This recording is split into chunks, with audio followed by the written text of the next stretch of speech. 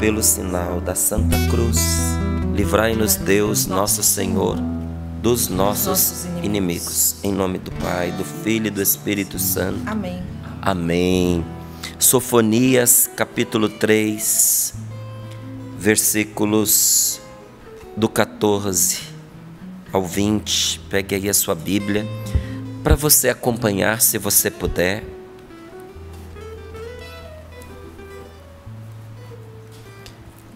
Sofonias, capítulo 3, versículos do 14 ao 20. Diz assim a palavra de Deus: Grita de alegria, filha de Sião. Canta, Israel. Alegra-te e exulta de todo o coração, ó filha de Jerusalém. O Senhor aboliu a sentença contra ti o Senhor aboliu a sentença contra ti, afastou teus inimigos. O Rei de Israel é o Senhor que está em teu meio. Não precisarás mais ter medo de alguma desgraça. Naquele dia Deus dirá a Jerusalém: Não tenhas medo, Sião, não te acovardes. O Senhor teu Deus está a teu lado como valente libertador. Por tua causa ele está contente e alegre, apaixonado de amor por ti. Por tua causa está saltando de alegria como em dias de festa. Afastarei a desgraça para longe de ti, a fim de que por sua causa não venhas a sofrer humilhação provocarei a destruição de todos os que te oprimiram naqueles tempos. Aos mutilados vou recuperar, e aos que se dispersaram vou ajuntar. Darei a eles glória e fama em qualquer terra onde ficaram derrotados. Nesse tempo eu vos farei vir para casa, e então vou reunir-vos eu vos darei fama e glória entre todos os povos da terra, quando bem diante dos vossos olhos eu mudar o vosso destino, diz o Senhor. Palavra do Senhor. Graças a Deus. Graças a Deus. Grita de alegria, filha de Sião. Canta, Israel. Alegra-te e exulta de todo o coração, ó filha de Jerusalém. Por quê? Porque o Senhor aboliu a sentença contra ti. O Senhor aboliu uma, a sentença contra ti. Havia uma sentença que pesava contra você. Você sabia disso? Havia uma sentença que pesava contra você. Havia um processo aberto contra você. Um processo que te incriminava e que fatalmente iria te condenar. A gente pensa, mas contra mim, e o quê? Mas ou um processo? Não. A condenação já estava certa. Porque a palavra de Deus nos diz que a sentença do pecado é a morte. E quem de nós não pecou? Mas além desta sentença que estava pesando contra nós, tem aquelas sentenças que outros lançam contra nós. E tem aquelas sentenças que nós levantamos contra nós mesmos. Eu sou apaixonado pelo Sorrindo para a Vida, porque o Sorrindo para a Vida não é um programa, é um simples programa de televisão ou de rádio, não é? Porque o Sorrindo para a Vida começou pelo rádio. O Sorrindo para a Vida é um momento poderosíssimo de encontro com Deus, da palavra de Deus e da força da oração, que é feito sobretudo por nosso Senhor. Jesus inspira esse programa todos os dias. E quantas vezes o Senhor nos falou através dos testemunhos que vão chegando aqui. E quando eu digo a você, o Senhor aboliu a sentença contra ti, eu me lembro quando nós trouxemos aqui no Sorrindo para a Vida o testemunho daquele homem que tinha lançado sobre si uma sentença de que ele não viveria mais que 50 anos. Depois ele se arrependeu e no momento de oração aqui foi anunciada a libertação dele pelo padre que estava conduzindo aquele momento de oração. Mas logo após esse momento de libertação aqui, ele que estava bem, aparentemente bem, começou a se sentir mal e na segunda-feira ele foi parar no hospital e precisou ser operado às pressas. E os médicos o abriram e tiveram uma surpresa. Quando o internaram, o internaram porque detectaram que ele estava com um problema na vesícula e precisava operar com urgência. Mas quando o abriram, encontraram algo pior lá dentro. E o médico disse que a sorte dele foi o que aconteceu com a vesícula, porque assim eles puderam operá-lo e foi uma, uma cirurgia urgente, inesperada e difícil. O médico disse para ele que parecia que a doença estava agarrada a ele, que a enfermidade não queria deixá-lo. Ele nos mandou uma cartinha escrita. E ele reconhece que isso entrou na vida dele através dessa sentença que ele se predispôs a viver. Não vou viver mais que 50 anos. Esse testemunho desencadeou outros testemunhos, acho que a Valdênia lembra, de mulheres que tinham é, lançado sobre si uma sentença de não engravidar. Não era? Então foram vários testemunhos que chegaram desta forma.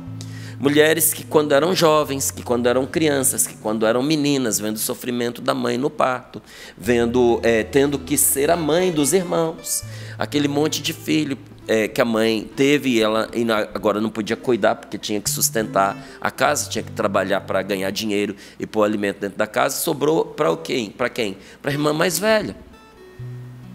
E ali naquela altura, uma por causa do sofrimento, da violência de um parto que quase matou a mãe, a outra porque ficou para poder ter que cuidar dos, do, do, dos irmãos. Essas mulheres colocaram para si uma determinação: nunca vou engravidar, nunca terei filhos, não quero ser mãe. Enquanto o Espírito Santo, no momento de oração, não recordou-as disso, para que elas pudessem apresentar essa sentença diante de Deus para ser anulada, elas não engravidaram. E olha que interessante. Foi Deus trazer isso à luz para você perceber que a palavra de Deus ela é real, ela é verdadeira. E que existe um universo espiritual que é aberto para nós a partir da palavra de Deus, coisas que nós não conheceríamos se Deus não nos mostrasse. O Senhor nos diz que Deus é luz e nele não há treva alguma.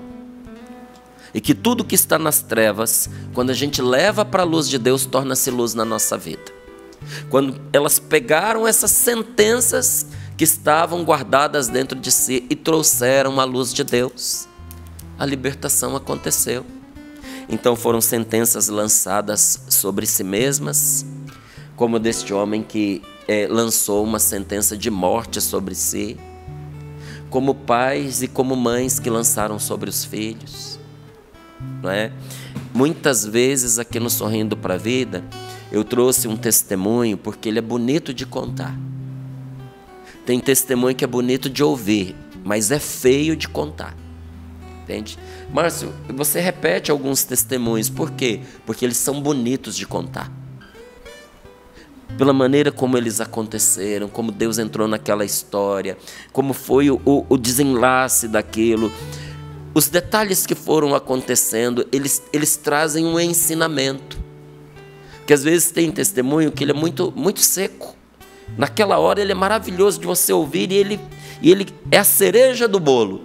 Mas tirou-se daquele momento para você contar em outra situação, ele carece de certos elementos. Não é? Então tem testemunho que ele é ouro para você contar e evangelizar as pessoas. E um desses testemunhos ele aconteceu no Rio de Janeiro. Havia uma moça que foi levada para nós orarmos por ela. porque era a quarta vez que ela tentava o suicídio. Três vezes ela se envenenou. A quarta, ela cortou os pulsos.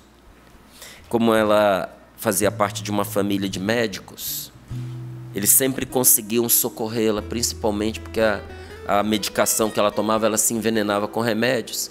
Até a medicação ter aquele efeito mortal, não é? é eu, os pais, os irmãos conseguiam socorrê-la. Mas no dia em que ela cortou os pulsos, por pouco ela não morre. E levaram essa mulher para que eu pudesse rezar por ela. Ela era uma jovem mulher de 28 anos. E ali durante a oração, o Senhor foi me dando uma palavra na oração por ela, que era a palavra de maldição. E eu disse para ela: O Senhor está te libertando de toda palavra de maldição. Quando eu disse isso, parecia que eu tinha pegado um, um fio elétrico concorrente e dado um choque na menina. Houve uma reação física. Ela reagiu na hora. E um choro assim, sabe? Compulsivo foi tomando conta dela. Eu fui continuando a oração.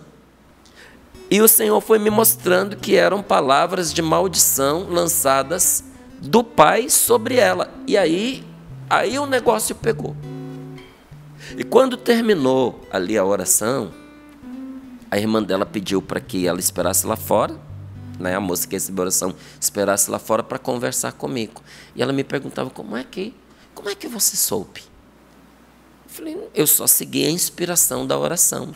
E ela foi me contando que havia entre ela e o pai um ódio profundo. E que o pai a amaldiçoava todos os dias, dizendo: Você não há de voltar para casa você vai morrer de câncer. Alguém vai matar você na rua hoje. Um caminhão vai passar por cima de você. Você nunca vai ter filhos. Você não vai encontrar alguém que te ame. Você nunca vai casar. Sua vida não vai para frente. E realmente não, não ia para frente a vida dela. Ela estudava e não passava em nenhum concurso, porque ela era uma aluna brilhante no cursinho, então de inegável inteligência mas inexplicavelmente ela não conseguia passar em nada, em matérias que ela sabia. Amizade, ela não tinha nenhuma amizade, apesar de ser uma pessoa bonita e agradável. Namoro, nunca deu certo nenhum namoro e já fazia anos que nem sequer uma paquera. Não conseguia trabalho, não tinha felicidade, as coisas dentro dela não estavam bem, gente, por causa disso, essa menina estava morrendo aos poucos, porque o mal entrou na vida dela pelas portas do ódio familiar e de uma sentença declarada pelo pai. Outro dia, eu e a Paula, também já lembrei aqui esse testemunho outras vezes, nós estávamos saindo daqui do Sorrindo para a Vida e tinha uma senhora ali embaixo nos esperando para contar a graça, a libertação que ela tinha recebido. Porque a mãe não a amava, a mãe nunca a quis, a mãe a rejeitou desde o ventre. E ela cresceu desde pequenininha, ouvindo a mãe dizer para ela que não a queria, que não gostava dela, que não a amava e que nunca iria amá-la. E ela me contou que nunca da boca da mãe ela ouviu uma declaração de amor. E que agora que as duas já estavam idosas, a mãe bem mais, ela também, ela tinha feito uma última investida ali, não era uma última, ela caprichou numa investida, de carinho com a mãe. E a mãe teve o capricho de chamá-la para conversar e disse assim: Olha, minha filha, a vida inteira eu disse para você que eu não te amava, a vida inteira eu disse que eu não gostava de você, a vida inteira eu disse para você que eu nunca ia te amar. E agora eu já sou uma mulher velha, você também é uma mulher idosa. O tempo passou. E eu não sei o que fazer para você acreditar em mim, porque eu não te amo, eu não te quero, eu não gosto de você. Você fica insistindo. Se nós tivéssemos mais 500 anos de vida, 500 anos não seriam suficientes para eu amar você. Eu não gosto de você. Não... Pensa, gente. E ela disse que naquele dia, de verdade, o coração dela se partiu e ela ficou tomada de tristeza como nunca antes tinha ficado. Veja, no decorrer, no decorrer de uma vida inteira, nada tinha abalado essa mulher como abalou naquele dia. Ela disse que ela realmente ficou muito mal. E acompanhando, sorrindo para a vida, que nem era o hábito dela, ela acompanhava, era a missa. Mas ela deixava a TV ligada na canção nova, sorrindo para a vida e acontecendo. E ela ouvia uma outra coisinha, mas ela disse que naquele dia a palavra de Deus foi como um, um raio para ela. Mas acertou em cima desse mal que a oprimia. E deu a ela uma libertação tão profunda em relação à mãe, que ela entendeu que ela não dependia da aceitação da mãe dela para ser feliz. E olha, perdoou. Ela viveu uma graça de amor e de libertação, porque toda libertação é uma experiência de amor. As pessoas elas pensam que exorcismo se trata de expulsar demônio. Não, gente. O exorcismo, aí por que, que a igreja católica realiza o exorcismo sobre uma pessoa que está oprimida pelo demônio. Não é simplesmente para expulsar o demônio, mas para fazer o bem, para fazer todo o bem que se pode fazer a um ser humano, porque uma pessoa está escravizado a esse poder espiritual do mal. Isso é uma coisa muito triste. Então, a libertação é um ato do amor de Deus em favor daquela pessoa. Toda libertação é uma experiência de amor. Por isso que quando a gente vai nos encontros e tem libertações, as pessoas choram. Não choram de dor, não choram de desespero, não. Elas choram porque elas se sentem profundamente amadas por Deus, que as libertou naquele momento. Então, toda verdadeira experiência de amor também liberta. E naquela manhã, enquanto ela ouvia aquela palavra, o amor de Deus encheu o coração dela e as cadeias que aprendiam caíram. E ela esperou alguns dias para viver todos os efeitos daquela graça. Então, quando veio nos contar, tinha outras coisas para nos dizer. Que foi tão profunda a libertação que ela recebeu e tão grande o perdão que ela deu para a mãe que doenças que ela trazia há anos, há anos, que eram tratadas frequentemente e não se curavam, foram curadas naqueles dias que se seguiram. Uma asma crônica, não é? Uma gastrite que não fechava de jeito nenhum, ficou completamente restabelecida. E olha que interessante o que ela disse. Uma pessoa instruída, uma pessoa culta, ela disse assim: Márcio, é, eu sabia que as doenças que eu tinha no meu corpo tinham raízes emocionais. Eu sabia que era fruto do que eu vivia no meu relacionamento com a minha mãe. Mas saber disso não me curou. Tem gente que pensa, né? É porque a pessoa não fez a ligação, a relação entre a enfermidade física e a enfermidade emocional. Aí quando soube, resolveu aqui. Eu ouvi isso da boca dela. Eu sabia que era por causa disso. Mas mesmo sabendo, eu não conseguia a cura. Saber disso não me curou. Deus me curou naquele dia. E aí eu encontrei um testemunho que eu gostaria de ler para você que nós recebemos há uns dias atrás. Não gostaria de me identificar. Hoje venho prestar meu testemunho do amor e da graça de Deus na minha vida. O programa de hoje só me fez relembrar o quanto somos importantes para Deus e o quanto Ele nos honra e justifica. Senti na pele toda a dor de ter sido amaldiçoada por minha mãe, que uma vez me disse que eu não iria ser mãe, porque eu não era uma boa filha. Isso me gerou uma dor tão profunda que desencadeou inclusive problemas físicos. Tive uma queda de cabelo, por pouco não fiquei careca. Tentei engravidar por anos, mas esse sonho parecia realmente impossível. Mas pelo poder da oração, pelo sangue de Jesus, através da medalha das duas cruzes, Meu milagre hoje cresce dentro de mim. Estou grávida para a honra e glória do meu Senhor Jesus Cristo. Obrigado por vocês existirem. E é por isso que eu ajudo a canção nova. Aí vem a palavra de Deus, para você não achar que isso é para um, é para outro. E te diz hoje, nesta manhã, o Senhor aboliu a sentença que pesava contra ti. Amém. O Senhor afastou teus inimigos.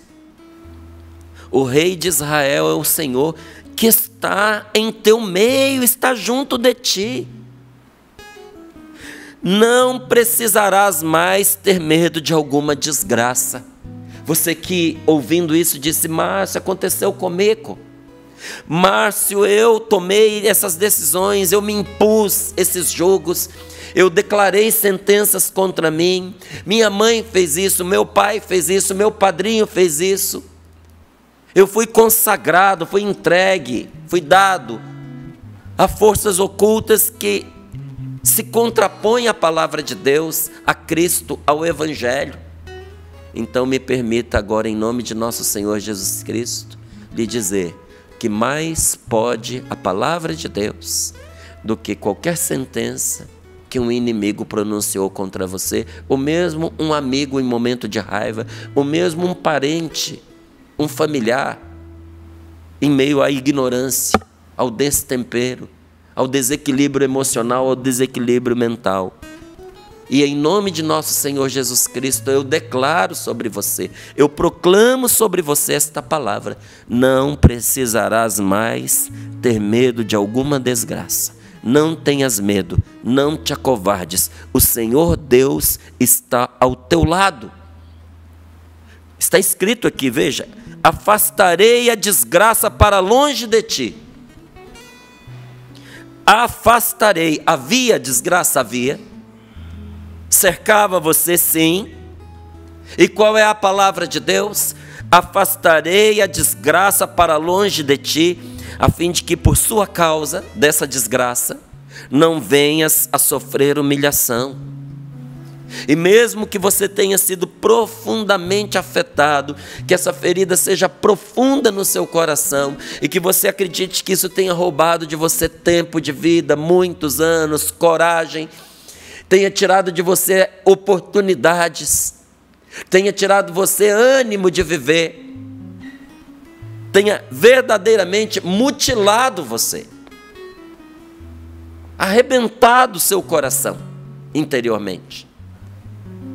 É o Senhor quem lhe diz: aos mutilados vou recuperar, e aos que se dispersaram eu vou ao juntar, vou ajuntar quando bem diante de vossos olhos eu mudar o vosso destino. Deus vai, já mudou, não vai. Deus está mudando o seu destino neste momento.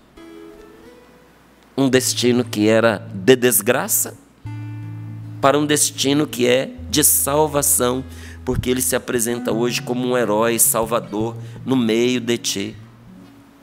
Você ouviu esses testemunhos? Ouviu o que esta mulher disse sobre uma palavra maldita causar uma dor tão profunda no coração dela, ao ponto dela adoecer e depois não poder engravidar? O que foi que girou a chave? O que foi que mudou essa realidade? A palavra de Deus. Um dia a palavra de Deus a iluminou para que ela compreendesse que não dependia da aceitação da sua mãe. E quando ela entendeu isso, ela ficou curada. Ficou curada.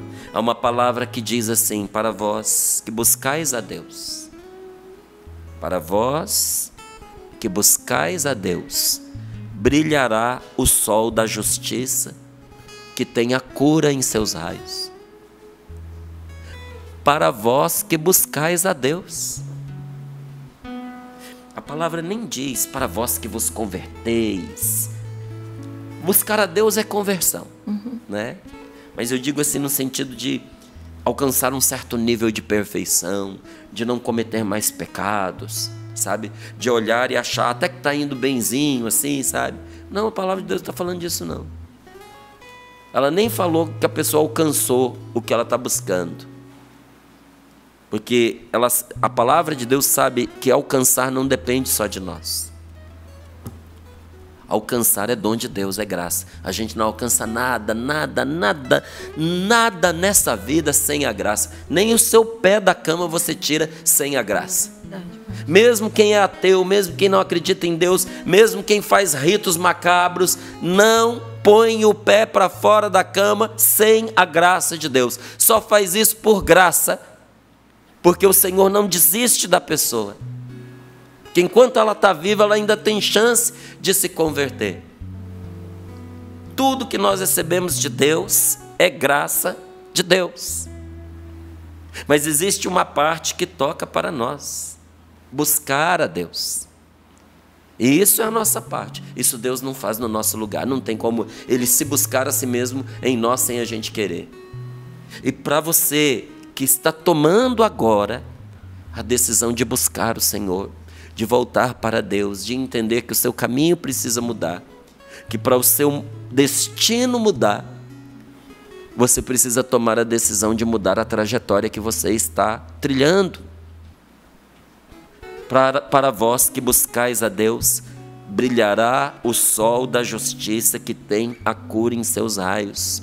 Assim como o sol aos poucos vai nos aquecendo, quem busca a Deus, aos poucos vai se libertando e vai se curando. Você não fica moreno da noite para o dia de tomar sol. Se você exagerar, você vai ficar vermelho, né? Esses dias eu fui. Esses dias já tem uns meses já. É, não tenho costume, né? Resolvi fazer uma caminhada na praia com uma amiga muito querida. A conversa estava boa. Então, todo tanto que a gente conversava parecia pouco.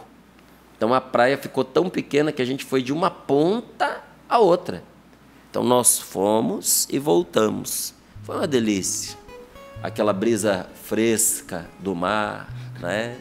Aquela caminhada de uma praia maravilhosa, aquele sol colorindo, né, o dia. Quando nós paramos e o ventinho cessou, eu senti um calorzinho nas minhas costas que eu vou te falar. Gente que não é do litoral, gente que não está acostumado com praia.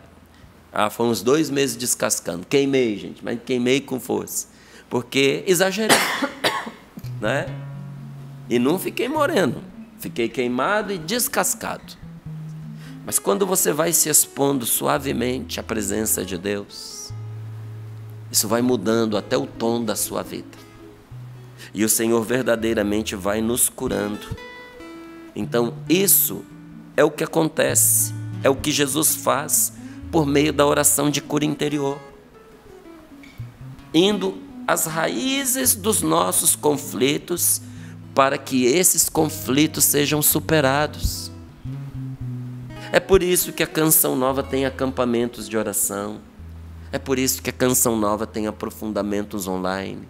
É por isso que a Canção Nova tem uma programação 24 horas por dia evangelizadora, gratuita, Sim. que nos expõe a luz de Deus para vós que buscais a Deus. Brilhará o sol da justiça que tem a cura em seus raios. Quantas, quantas pessoas, gente, quantos testemunhos incontáveis, é impossível contar, de pessoas que dizem que a sua vida foram transformada, a sua, as suas vidas foram transformadas ouvindo a palavra de Deus ali através da canção nova. É a canção nova? Não, não é a canção nova. Tire Deus da canção nova e sobra nada. É sempre o Senhor Jesus. É sempre o nosso Deus. Ele cura os corações despedaçados, diz a palavra, e sara as suas feridas. Deus é poderoso para curar os corações despedaçados e cuidar dos seus ferimentos. Nós temos um Deus maravilhoso que é capaz de ir ao fundo dos nossos problemas para nos curar e para nos libertar. Nós temos um Deus poderoso que é capaz de visitar o nosso passado e curar o nosso passado. Nós temos um Deus maravilhoso que é capaz de chegar na realidade da nossa concepção e nos curar até mesmo de uma profunda rejeição que aconteceu no ventre materno. Eu sou testemunha dessas coisas. Eu as vi repetirem-se inúmeras vezes na vida de tantos que nós vamos ao encontro para evangelizar, para pregar a palavra, para orarmos juntos. Há uma oração litúrgica que dizia assim: Livra-nos, Senhor, dos nossos males passados, presentes e futuros. Liturgia, gente. Liturgia é palavra de Deus. E o que dizia essa oração na liturgia? Livra-nos, Senhor, dos nossos males passados. Tem mal do passado que assombra a gente no presente. Tem decisões esquecidas que amarram a vida da gente. E como são esquecidas, a gente não sabe, nem sabe que elas existem.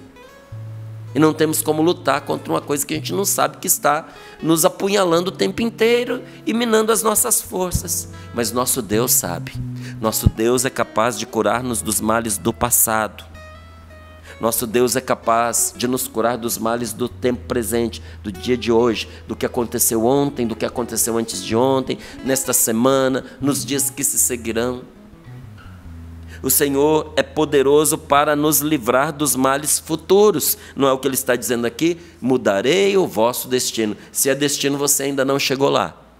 Mas se ele vai mudar, é porque o que te esperava não era coisa boa para você. Nosso Deus é capaz de curar-nos dos nossos males passados, porque Ele é o Senhor do tempo. Jesus Cristo é o Senhor do tempo. O tempo pode ter alguma influência, domínio sobre nós, mas não sobre nosso Senhor Jesus Cristo, porque do tempo ele também é o Senhor. Ele é o mesmo ontem, hoje e o será sempre. Por isso, para que a gente receba essa graça e essa cura, é necessário primeiro a gente trazer aquilo que nos feriu à luz de Deus. À medida em que nós vamos lembrando, nós precisamos trazer isso em oração. Não basta lembrar, apenas lembrar o que aconteceu com a gente tem nome, é ressentimento. Uhum. Ai, Márcio, eu sempre lembro, estou trazendo a luz. Não, você está ressentindo. E o ressentimento aprofunda a ferida. O ressentimento rasga de novo o que estava curando. Então não basta lembrá-lo, lembrar o que aconteceu, é preciso expor essa coisa à luz do amor de Deus trazer aos pés do Senhor na oração. Num total abandono a Deus, pedindo ao Senhor que cure na sua misericórdia infinita as nossas feridas. E olha, peça, o Senhor cura. Sabe essa situação que mói você por dentro, que te humilha, que você chora, que você lembra com raiva, com rancor? Leva diante de Jesus em oração e pede a Ele para curar você com certeza naquela hora você vai lembrar de pessoas que te machucaram. Você vai precisar perdoar. Não tem jeito. A cura vem na medida em que a gente também vai perdoando. Precisa perdoar. E em grande parte a cura de um problema emocional ela acontece quando nós encontramos alguém que seja capaz de nos ouvir com amor, sem julgamento. Ser escutado é cura para nós. Existem algumas doenças e feridas físicas, gente, que elas se curam com banho de sol. Uhum. Você vai chegar no médico, ele vai dizer o que, que ele vai te receitar. Todos os dias, você vai pegar aquele solzinho das 8 da manhã, das 9 da manhã. Quem tem carência de vitamina D e a imunidade está baixa e tem, desenvolve outras enfermidades, o que, que o médico vai receitar para você? Sol, e não é o das 8 da manhã, não, é do meio-dia às duas onde ele é mais agressivo. É o que você vai precisar para ativar a sua vitamina D. Então, expondo-nos à luz do sol, nós vamos sendo curados, nós vamos sendo fortalecidos, nós vamos sendo vitaminados. A pessoa se expõe aos raios do sol, que vão penetrando na sua pele, e assim ela vai sendo curada. Então, da mesma maneira, Jesus, o sol da justiça, cura as feridas do nosso coração, se nós expusermos todo o nosso ser, especialmente essas áreas mais doentes, diante dos raios da Sua misericórdia, da misericórdia do seu coração. E aí o seu calor vai nos penetrar e vai nos curar. Se eu não me engano, era Santo Afonso de Ligório que dizia que nós não teríamos doenças se nós procurássemos ficar pelo menos uns 15 minutinhos todos os dias em adoração diante de Jesus no Santíssimo Sacramento do altar. E quem não pode ir até uma igreja, não tem problema. Porque nunca se falou que a adoração só vale se você tiver a 10 metros, a 12 metros, a 20 metros de distância de Jesus. Não, não tem nada escrito disso aí, não.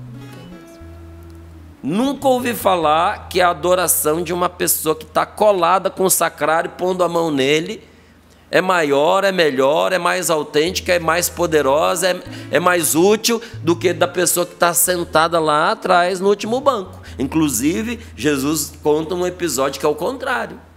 Diz que o fariseu estava de pé junto do, do altar do templo, fazendo uma oração esquisita, em que ele se honrava e se louvava a si mesmo e não a Deus. E lá atrás, nem no banco estava, quase na porta, saindo do templo, de joelhos, sem coragem para levantar os olhos estava um publicano que batia no seu peito e dizia: Senhor, tem compaixão de mim que sou pecador. E a graça alcançou esse. O que o Senhor nos diz nesta palavra? Que nós alcançamos a Deus pelo desejo do nosso coração e não pela distância física. Adore a Jesus, nem que seja do quarto da sua casa. Então, a presença dessas lembranças dolorosas em nossa memória, ela produz traumas, produz complexos, em nossos relacionamentos com os outros, com nós mesmos e até mesmo no nosso relacionamento com Deus. Por isso a oração de cura, a oração de cura interior, ela começa primeiramente no campo das nossas lembranças. Onde é que começa a oração de cura? Nas nossas lembranças que nós precisamos levar diante de Deus. Porque o que está em nossa memória nos afeta constantemente. Veja que aquilo que aconteceu com você nesses dias e que você não consegue esquecer, está afetando você toda hora. O que, que você acha da gente trazer essas coisas agora diante de Deus? E já começar aqui, nesse momento, essa experiência de oração. Você topa? Então feche os seus olhos um pouquinho. Põe as mãos sobre o seu coração. É importante que num clima de fé, e de oração, nós apresentemos agora o nosso passado a Jesus. E com Jesus, nós vamos pedir ao Espírito Santo que nos mostre a origem daquilo que nos faz sofrer. Se precisar, depois você assiste de novo esse programa. Então, o que, que nós vamos fazer? Em clima de fé e de oração, nós vamos apresentar o nosso passado a Jesus. E com Jesus nós vamos pedir ao Espírito Santo que nos mostre a origem daquilo que nos faz sofrer uma rejeição familiar, um abandono, uma violência que você sofreu, uma ingratidão, uma injustiça, um fracasso, um acidente, uma morte. E daí nós pegamos cada incidente doloroso e o colocamos à luz do Senhor e assumimos autoridade em nome de Jesus sobre a situação. E Jesus, que é o mesmo ontem, hoje e sempre, cura as feridas da memória, como o sol cura as feridas do nosso corpo. E então nós mandamos em nome de Jesus, mandamos em nome de Jesus, pelo poder das suas chagas sagradas, porque as suas feridas curam as nossas feridas. Nós mandamos que sejam curadas as nossas enfermidades e proclamamos eu te liberto em nome de Jesus dos temores, das angústias, dos complexos causados por este acontecimento. E você pode dar esta ordem até a você mesmo, como eu posso dar a mim mesmo, Márcio, em nome de Jesus. Eu te liberto desta lembrança amarga, triste, infeliz, eu te liberto desse desgosto. Eu te liberto desta mágoa, eu te liberto deste ressentimento e eu posso, em nome de nosso Senhor, dizer: não vou mais viver a partir disso. Não vou. Quando bem diante dos vossos olhos eu mudar o vosso destino, diz o Senhor. Não precisarás mais ter medo de alguma desgraça. Não tenhas medo, não te acovardes. O Senhor teu Deus está ao teu lado.